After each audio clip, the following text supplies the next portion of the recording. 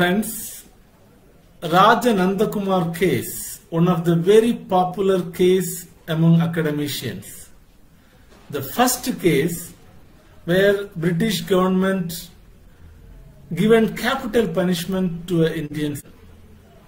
Raja Nandakumar was very influential with British government, very loyal to British officials, and interestingly, in the year of 1756, he was placed as a governor for Hooghly.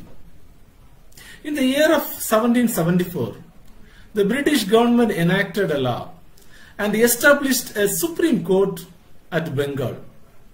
By the time, Raja Nandakumar was having some issue with then Governor General Warren Hastings.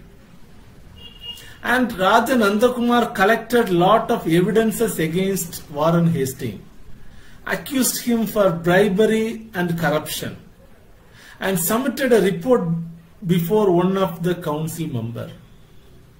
Where the council member advised Raja Nandakumar to submit all the documents before the newly formed Supreme Court of Bengal. And Raja Nandakumar submitted all the documents before the Supreme Court. Where the Supreme Court taken up the case and summoned Warren Hastings, conducted inquiry, arrested Warren Hastings and some of his colleagues. This actually broken the relationship between Warren Hastings and Raja Nandakumar. And Warren Hastings wanted to take revenge with Raja Nandakumar. So Warren Hastings instigated one of his friends to file a case against Raja Nandakumar before the same Supreme Court, making some allegation of forgery. Those days, under English Act 1929, if anyone is alleged against forgery, the punishment is death, capital punishment. The Supreme Court taken up the case, conducted inquiry. By the time Raja Nandakumar placed two important defense before the Supreme Court. First of all, he said, the Supreme Court established in the year of 1774, whereas the offence alleged him the cause of action taken place in the year of 1770.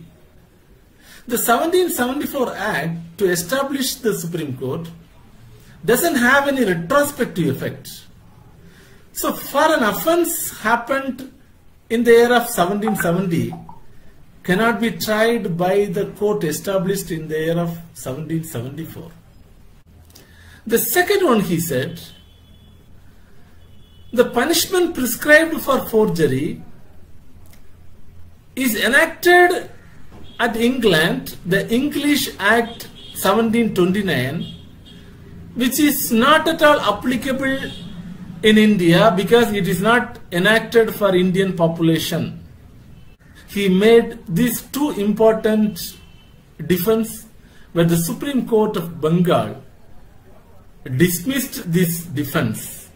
So he approached the appellate court at England. But the appellate court also not willing to accept his defense. And he prayed for stay at Bengal.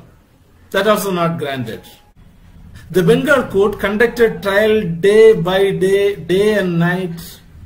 And finally the case came to an end. And Raja Nandakumar was punished under English Act 1729 with a capital punishment of hanging. And the punishment was executed on 5th of August 1775 and Raja Nandakumar was murdered, killed. And even today, the legal researchers claim that it is a good example for judicial murder and violation of basic rights.